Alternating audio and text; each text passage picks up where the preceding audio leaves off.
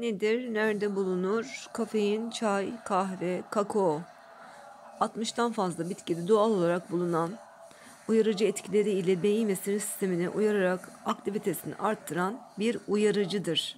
Kafein tüketimi odaklanmayı, arttırmayı, hafızayı güçlendirmeye bakın haf- e, yani hep kafein kötü değil hafızayı güçlendirmeye yarıyor. Özellikle öğrenciler ne yapıyorlar?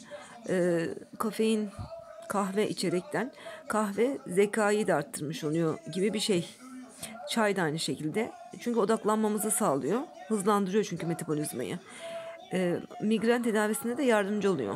Biberiye de migrene iyi gelmiş oluyor bu arada.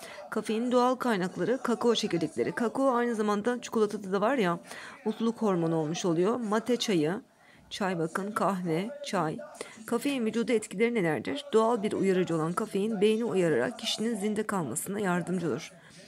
Bunun yanı sıra hafızayı güçlendirerek odaklanmayı arttırır. Sinir sistemini etki eder.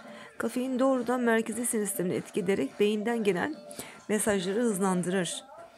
Kan basıncını etkiler. Kafein sempatik sinir sistemini uyararak kan basıncının yükselmesine neden olur. Fazla kafein tüketimi kalp ritim bozukluğuna sebebiyet verebilir.